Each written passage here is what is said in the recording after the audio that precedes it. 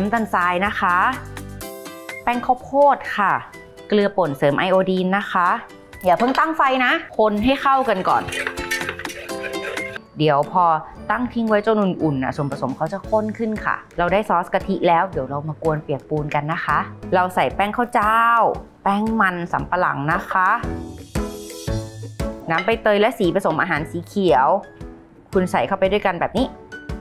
จากนั้นเทลงไปค่ะ หลังจากเทแล้วคนส่วนผสมก่อนอะพอส่วนผสมเริ่มเข้ากันแบบนี้ใส่น้ำปูนใสเข้าไปนะคะ แล้วก็คนส่วนผสมให้เข้ากัน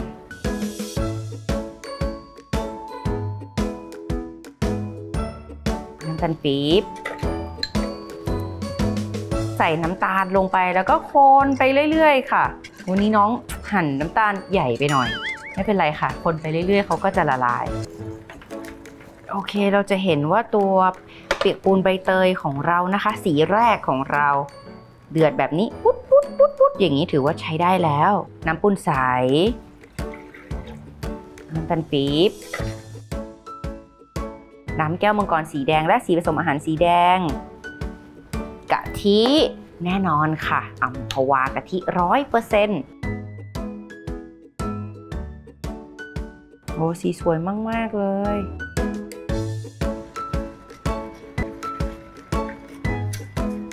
แป้งมันสำปะหลังกับแป้งข้าวเจ้านะคะ คนส่วนผสมให้เข้ากันก่อนนะ แล้วเราค่อยตั้งไฟ แบบนี้ค่ะ และสุดท้ายสีเขียวอีกช้อนหนึ่ง ก่อนเสิร์ฟเนี่ยนะคะกะทิของเราที่เราทำซอสลงไปแบบนี้ เพื่อให้ดูเป็นคริสต์มาสยิ่งขึ้นเนี่ยนะคะนานามีโรยไอซิ่งนิดหน่อย วางคุณลุงซานต้ามีต้นคริสต์มาสค่ะ ลูกปัดสีค่ะ เปียกปูนคริสต์มาสเรียบร้อยแล้วค่ะหนึ่งในเมนูเฉลิมฉลองในช่วงเทศกาลคริสต์มาสแบบนี้นะคะ